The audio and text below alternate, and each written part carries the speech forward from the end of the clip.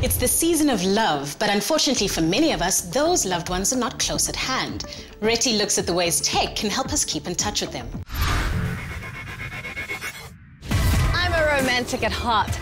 And not just when Valentine's Day looms, but all year round. We all know the order of the day is usually chocolates and roses when it comes to romance.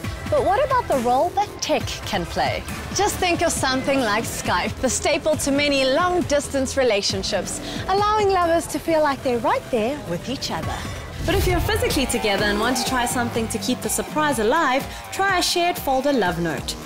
Dropbox is a great option because you can easily create a shared folder that will bring up notifications when there's a new love note. Then write the love note and drop it in.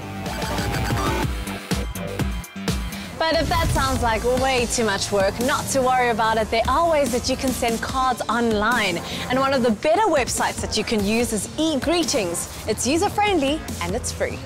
Just choose your card, add a personal message, and send away.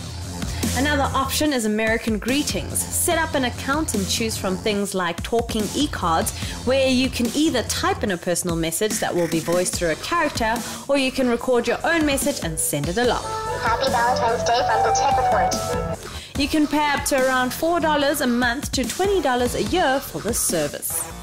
But maybe you're just an old school romantic at heart. Well, how about looking into creating and making your very own mixtape? Everyone's Mixtape is a great site that lets you create mixtapes that you can share with your friends. All you have to do is sign up either via Facebook or Google+. Then it's up to you to title your tape, add songs, and then share it with your loved one. If teddy bears and flowers aren't your thing, there's no excuse on giving up on keeping the romance alive. And that's great because with tech you can tell that special someone how special they are all year round.